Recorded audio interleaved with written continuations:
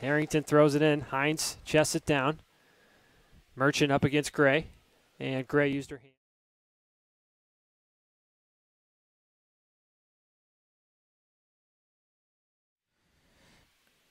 Goal kick comes down at the feet of Daniel Wildy. Harris Stowe at the moment leading in shots on target, three to. Off of Pratt, trying to get it back to Wilhite. Now Gray for Harris Stowe. Trying to go over the top, but nobody's so far this year. Now Gray moves it ahead. And Artiega will come out and pick it up. Wilhite going in with the challenge. They'll find Rachelle Gray.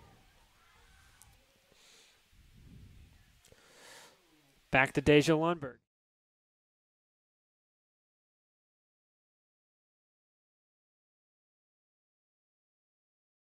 Had the easy work of just putting it in the empty net. Gray has the ball, sends it to the near side.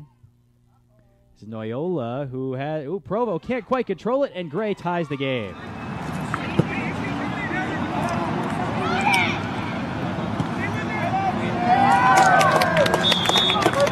Good job, Rachelle! To Janvrin, took a deflection.